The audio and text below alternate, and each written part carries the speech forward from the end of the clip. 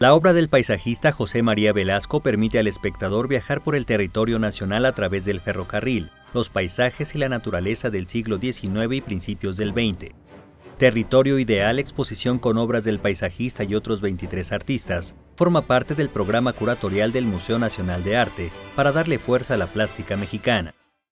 Y bien, no solamente se atiende aquí a José María Velasco, sino de las 103 piezas que tenemos exhibidas, pertenecen a, 23 artistas distintos, eh, de las cuales 60 obras son de José María Velasco, pues que es como el genio de la pintura mexicana del siglo XIX, el gran paisajista que se apropió del territorio mexicano a través de una representación idealizada de lo más atractivo y sublime del territorio.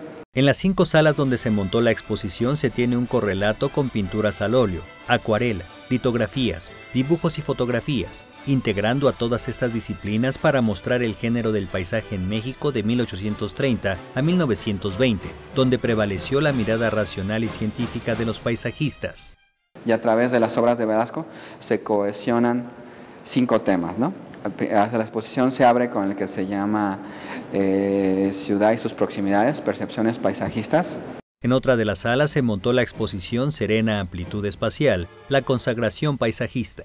Donde podemos ver estos grandes panoramas a campo abierto que distinguen a Velasco.